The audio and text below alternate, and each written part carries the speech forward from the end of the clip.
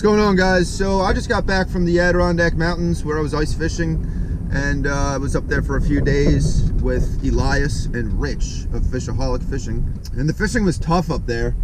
It wasn't as good as we hoped, but we still did catch some fish and some nice fish and uh, still want to share the experience with you guys. So uh, basically we drove all night and got up there early morning and uh, the wind was very strong the first day, which you will see here. But uh, yeah, this is day one. All right, we made it. We got our sleds ready to go. The lake is here. Lake trout are out there. We got this upgrade to my sled here, drilled some holes. We got the rod holders going. Very happy about this situation that we have going on right now. It's gonna be a very good day. The wind may ruin the audio at times, which I am a little yeah, usual stuff, I guess. But uh, we're gonna get out there and start fishing. All right, the plan is we're gonna walk about a mile out into this lake. Might as well just tell you we're fishing Lake Champlain. It's a freaking 100 mile long lake. And uh, we got this pressure crack that we are going to cross, goes down the lake, potentially all the way to Canada. Six inches of snow on the ground. Eh six inches of snow. All right, see what's up with this crack. Damn, Elias isn't even dragging anything. All right.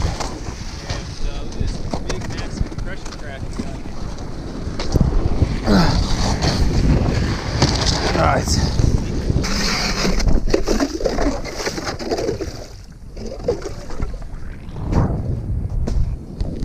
All right, well, we have made it out to the zone that we're gonna fish. We're starting to drill some holes, probe around, taking some time, try to find some ledges. And we got probably like 15 inches of ice and uh, 25 feet of water. Elias says 1,000 inches of ice. All right, well, I'm gonna get my rods going here and then uh, keep you guys updated. All right, guys, we got, uh, I got three rods out with some uh, minnows I don't know. We got this place pretty locked in right now with baits. Uh, the wind died down temporarily, which is nice. Very beautiful scenery here in the Adirondack region. And we're fishing shallow water. We're fishing like 20, uh, well, I'm fishing 22 feet of water right now. Got like 25 foot flat out there. Comes up into, I don't know, 13 feet right over here. And that's shallow for lake trout. Yeah, really not used to fishing this shallow for lake trout, but I don't know. Lake trout is the goal though. We're not really fishing for pike or perch. I don't know. We might run into we might run into anything out here. Who knows? But so I'll keep you guys updated. It's cold out. The batteries are going to be dying. So I'm going to keep the camera off for a while, turn it on for a while. Try to keep the action going here. So here we go. First fish. Laker. Yep. First Laker of the day right there. Wish I could have got it on video. I saw him on the screen. I tried to turn it on, but we got him. 25 feet of water, 23 feet of water. First, first mark he actually ate, so that's good. Oh yeah. Yeah, yeah. Go ahead. Woo! There's a Laker. Yeah, that's an all right lake lake trout right there. Keitech. Keitech. Put any meat on it or no? Uh, I got a wax worm on there. But I mean, That don't matter. I don't know if it matters. Yeah, but that's a beauty. Picture him? Ah, nah. Nah, he's not bad. No, he's nice, man. Fat. Like, look at how fat he is. That's nice. 23, 24.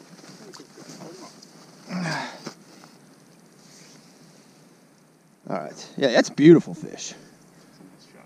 Yeah, with the GoPro and everything. Yeah. All right, good. There we go. Yeah, yeah. All right, we're gonna release first Laker. Yeah, Bye. I'll take it, man. Fought good. Yeah, nice fish. Nice Not bad. fish. Nice fish. Keitech. Bouncing on the bottom or retrieving? Uh, it's like five, six feet off the bottom. We're in there, baby. All right, I've been changing up the lures here a little bit. That was the first like bona fide lake trout mark. I knew it was a laker. He came, you know, he came up off the bottom real fast. So, oh, we might have another one. Yeah, I think we got another. Uh, it's either corruption on my screen. Yeah, it's corruption on my screen. All right, well, yeah, first fish. So that's what I'm using right there. That is a Keitech. All right, I got a wax worm tipped on there. You know, sometimes a little bit of scent goes a long way with the Lakers. So, yeah, I got 22, 23 feet of water here. So you see me using this rod. This is a long rod. This is not really an ice fishing rod. This is like a five foot, yeah, five foot ultralight. I'm using this just because like uh, usually know, I fish a little deeper water for these Lakers. And uh, to get a good hook set, you know, longer rod makes all the difference in getting a good hook set out of deep water. Using mono with a lot of stretch. But this shallow water, I could definitely be using a smaller rod. But I don't know what we're going to encounter out here, so I'm using this for now. Hopefully we get another another fish to come through. Jawjacker! Jawjacker's running line. Oh, running line, dude, zipping.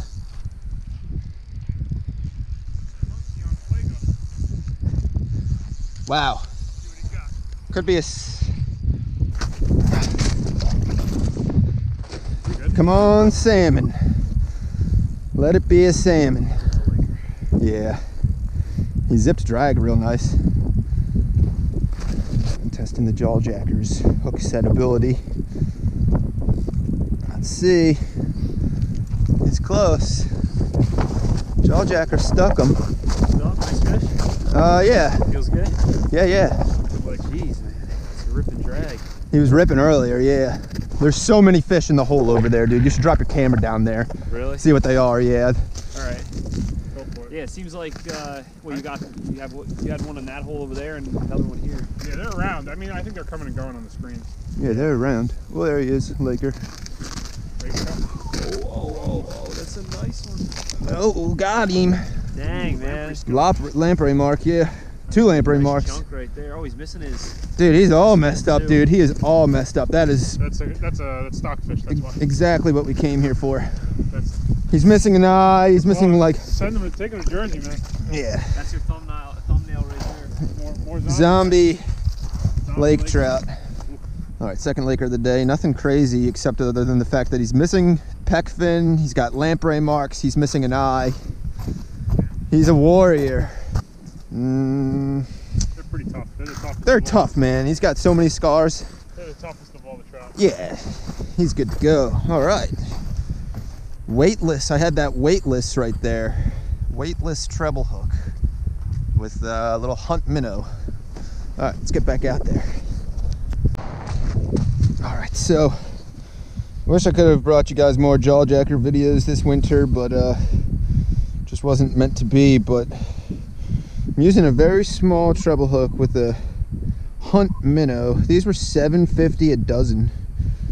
These little hunts. Just tail hooking. Hands are really cold right now. Lightly tail hooking.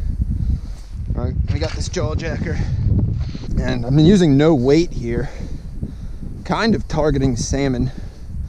I know that lake trout too will, uh, you know, hit this thing closer to the surface as that one just did. I had that thing about eight to 10 feet down, close to 10 feet under the ice. It's 23, 24 feet of water here.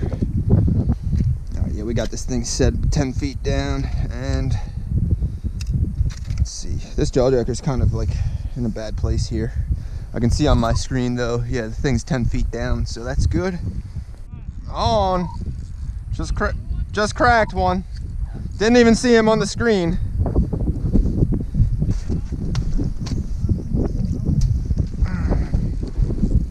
Oh, there he is under the ice. Oh, he's nicer. Nicer, nicer, nicer. Dang, he's pretty nice. Oh yeah, come on, come on, come on. 19 feet of water. This fish hit 19 feet of water. Definitely the nicest I've ever got through the ice right now. 25 inches is the nicest I've ever got through the ice. This one looks like he's 26, 27 potentially eight, nine pounds. Come on in through the hole, Laker. Oh, this one had a spoon with with a shiner head. Come on. Yeah. Oh. He's hooked pretty good, so got that going for us. Alright, let's try to get him. Oh, come on, come on. He doesn't want to do it. Come on. Oh, dang, there he goes.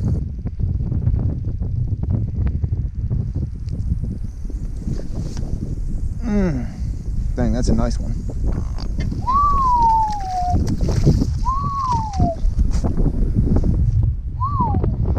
Sick fish. Sick fish. I'm gonna measure them. Mm-mm-mm. Oh yeah. Let's see what we got here. I don't think he's gonna get back down this hole. Yeah, that's a healthy fish. 27. Oh, relax, man. 28, 29. Uh, he's 28 and three quarters. He's just under 29 inches. That's my PB lake trout right there. He hit this freaking glow spoon that I painted. All right, here we go. We're gonna release him 29 inch. That's oh 28 and three quarter inch. That's my PB right there. And let him go. He is good to go. That fish, he is out of there. All right, man. It's on, man. Champlain's kind of legit. That's the third fish. This wind is killing this video, I know, but all right. So we're just kind of uh, tipping the jig with a shiner head, which is uh, the way that I usually fish for these fish, these lake trout. trying to pick like a smaller minnow here. This one will be good. All right, we're gonna go take them to the jig. Just hooking it through, hooking it firmly like through the head and kind of just pinching, you know, so that we got some scent on there. All right. And I can use this for the next bait. Check my line. Line feels good. All right, let's drop back down. Let's see if we can get another one. That's my uh, personal best lake trout probably right there. Close, pretty much tied PB, I don't know. Biggest I ever got through the ice. He's actually got a fish. Yeah, Oh, really? it's taking line. Taking line? Taking line. Was taking line. Was taking line. Unless your sinker was just falling. No, that's a fish. Yeah, yeah. Got him? That's something. It's not good. Oh! By the skin of his teeth. Oh, jeez. Oh, there's one. Laker. There he is. Bam. On. Rip and drag, dude. Rip and drag. Oh my god. Damn, dude. He's zipping, zipping, zipping. Like, oh my god.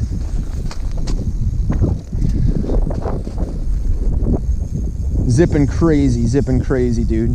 This fish just took like 30 yards of line. Zipping like crazy, dude. That was crazy. That's why we're fishing for lake trout, man. That fish. I don't know, man. That fish right there. Right here. Haven't seen him yet. He's been on for a while, dude. He ran like 30, Oh yeah? He got he ran like 30, 40 yard, 30, 40 feet of line, like on the hook set. Dang, man. That, that looks like a heavy fish. It's feeling good. Like I, I I haven't even seen it. fit through that hole. That looks like a pretty heavy fish. Yeah? Yeah, I, I can totally tell. It's really heavy. You can't even move him. No. He's close. He's close. Brown? So, Salmon? Brown salmon? Maybe. I saw him on the screen. I saw like he he came up. Like. Uh, drum. Oh, drum. Could be a drum. I think it's a Laker. We're gonna have to be more holes if it's drum. I think it's a Laker. Yeah. That's gonna get real interesting. Dude, he Yeah, is you not Six, you got six pound? eight. Oh, you got eight. Big Laker. Big Laker, man. Yeah. Dang, man. This is why I need the spud bar, just in case. Oh, we ain't spudding through 15 inches of ice, I dude. don't know. I mean, I don't know how we gonna open it up. we'll worry about that when we when we get to when we get there. All right. No. Oh, there he is. Oh, he snagged. That's oh, why. Oh, okay. That, Damn. Okay. Okay. Now it makes that sense. explains Damn it. Snagged in the back. typical, man. Typical. Every every trophy fish I catch is freaking snagged. Have fun with that. You're gonna be. Yeah. Yeah, gonna. All right, screw you guys. Screw you guys. Damn, man. I thought this was like a freaking big one. Is gonna be impossible getting this thing through the freaking hole. Ho- hopefully it pops off.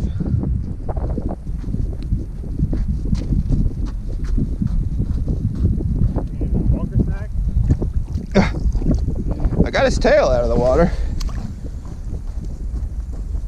There we go. All right, that's a good fish though. Even though he's snagged in the tail, unintentionally snagging, still kind of counts. Right. Crazy man, crazy. All right, here we go. Release, release the lake trout. All right. All right, guys. Well, that concludes day one. Uh, we left the lake a little early because of the wind. You know, the wind was relentless, and we were tired from not sleeping on the drive up. So uh, we stayed up a few more days, and stay tuned for more videos.